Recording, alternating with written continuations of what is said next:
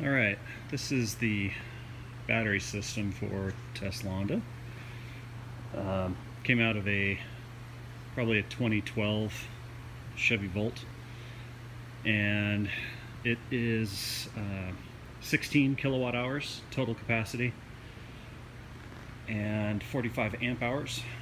Uh, capable of 10 to 15 C discharge which uh, works out to be about a thousand amps uh, briefly, at least for a few seconds.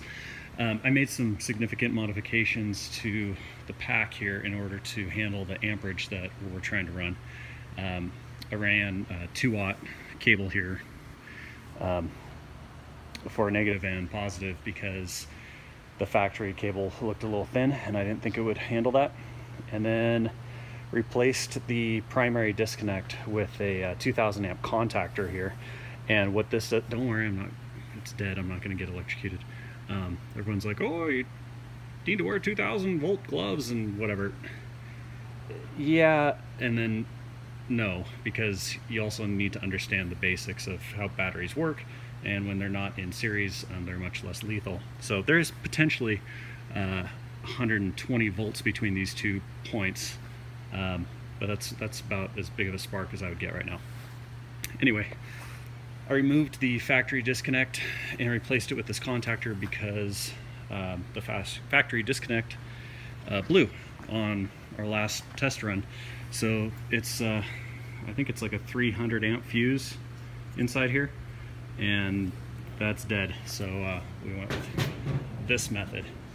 Um, also, I replaced the factory battery management system with uh, a product from uh, ZEVA, Australia, and it's uh, zeva.au.com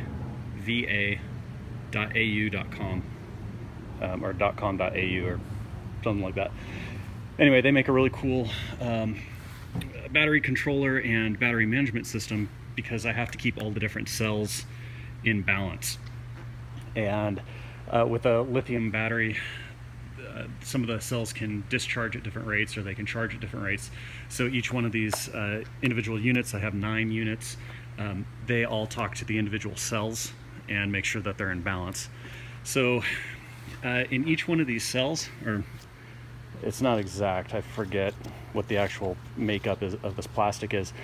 Um, but anyway, there's, there's 96 cells total and in each cell there's three lithium ion pouches uh, those are in parallel and then 96 in series. So the designation for this pack is uh, 3P96S. Um, each one of those little cells is uh, 3.7 volts nominal, uh, which gives about 393 volts at full charge. And uh, that's what powers Teslonda here. And I'll show you where the battery pack goes.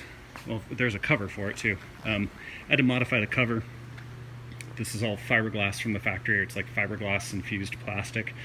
Uh, but because I had some bigger humps and gaps and whoop-de-doos, um, I had to make some fiberglass adjustments to it.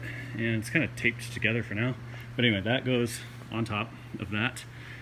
And then the whole thing goes underneath here uh, in this channel. So I cut the whole center of the car out, as you can see.